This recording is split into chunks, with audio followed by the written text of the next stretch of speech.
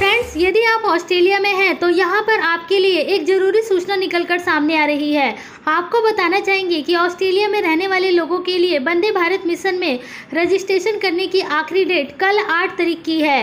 यदि आप ऑस्ट्रेलिया में इस समय हैं और आपने अभी तक अपने आप को वंदे भारत मिशन के लिए रजिस्टर नहीं किया है तो आप आज ही अपने आप को रजिस्टर कर ले, क्योंकि हो सकता है कि कल ये लिंक काम ना करे। वंदे भारत मिशन में रजिस्टर करने की पूरी जानकारी और उसकी लिंक हम आपको वीडियो के डिस्क्रिप्शन बॉक्स में दे देंगे। आप नीचे डिस्क्रिप्शन बॉक्स में लिंक को क्लिक करके इसकी पूरी जानकारी ले सकते हैं।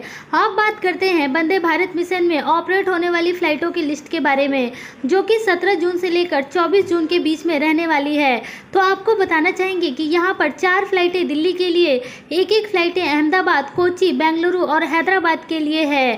फ्रेंड्स यदि आपको ये वीडियो यूज़फुल लगी हो तो आप इस वीडियो को अभी लाइक करें और यदि आप ऐसे लोगों को जानते हैं जो कि इस समय ऑस्ट्रेलिया में हैं तो उन लोगों तक आप इस वीडियो को पहुँचा दें, ताकि इस वीडियो से उनको कुछ लाभ हो सके।